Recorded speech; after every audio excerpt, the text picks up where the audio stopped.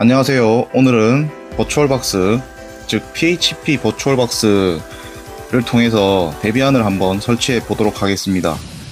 이 영상의 주 요소는 이제 처음에 데비안을 설치할 때 설치 창에서 뭐 이제 다음 다음 눌러주고 뭐 원하는 값을 입력을 해야 되는데 그 콘솔 창을 어떻게 보느냐 그거에 대해서 알려드리도록 하겠습니다. 먼저 저는 VirtualBox에 Debian test라는 이거 가상 머신을 하나 생성하고 remote display 설정을 하였습니다. 보시면은 디스플레이에 remote display 보시면 9000번부터 9100번까지 순차적으로 이렇게 할당이 되도록 되어 있습니다. 이 말은 가상 머신을 이제 먼저 시작한 게 9000번, 그 다음 시작한 게 9001번, 2번, 3번 이렇게 된다는 뜻입니다. 이렇게 설정을 해두고 이제 콘솔 창을 보기 위해서 Apache Guacamole를 이용하도록 하겠습니다. 보시면 일단 RDP 연결을 이용하기 때문에 이 VirtualBox connection을 저는 4개를 만들었는데 보시면은 connection 설정에서 VirtualBox 설정을 보시면은 각각 9000번 그 다음에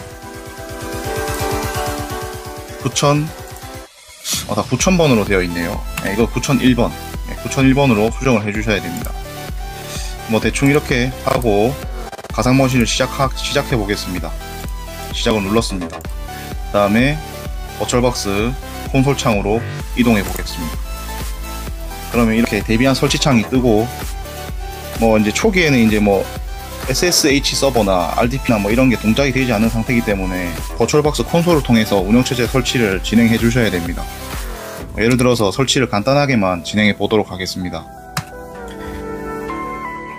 이렇게 뭐 언어 선택하고 뭐 대충 이렇게 넘어가 보도록 하겠습니다.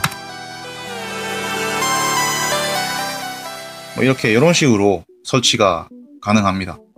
뭐 차후에 이제 설치가 다 끝난 이후에는 뭐 remote display 해제할 수 해제하고 뭐 SSH로 접속해서 작업을 하는 게 뭐 가능합니다. 추가적으로는 이제 Apache Guacamole 같은 경우에는 아파 어 RDP 연결 가능하고 SSH 연결도 가능합니다.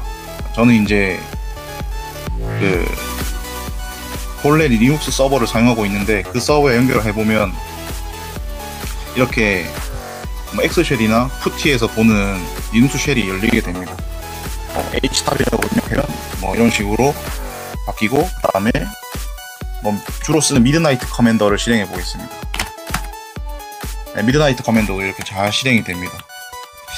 일단은 오늘 Apache Guacamole가 무엇인지 알아보기 위해서 대충 영상을 찍어 본 거기 때문에 약간 좀 말이 어눌할 수 있습니다. 일단 뭐 여기서 영상 끝내도록 하겠습니다.